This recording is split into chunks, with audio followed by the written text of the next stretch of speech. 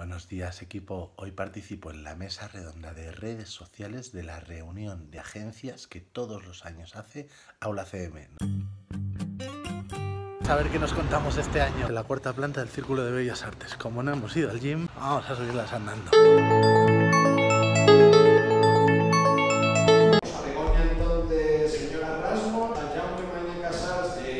Marketing 360, a David de Silva Alonso de Señor Potato, a Ángel González de Ideábolas y a Jaime Chicheri de Marketing Surfers. Un aplauso, por favor.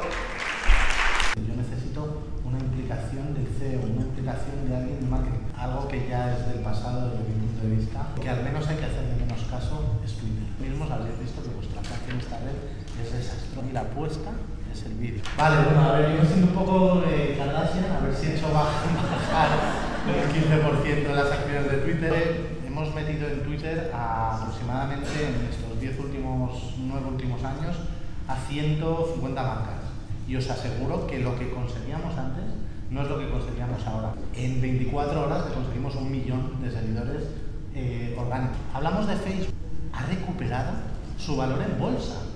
Es una red social que monetiza, donde no tenemos que conseguir que hacer unas campañas publicitarias porque es la mejor plataforma publicitaria a día de hoy. ¿Cuántos tenéis un chatbot en vuestra empresa? ¿Cuántos habéis hecho algo de realidad virtual? No vendamos nada que no hayamos probado antes. Instagram tiene el mismo problema que ha tenido Twitter y por el que Twitter ha fracasado. ¿Tendencias para un futuro o para el propio presente en, en redes?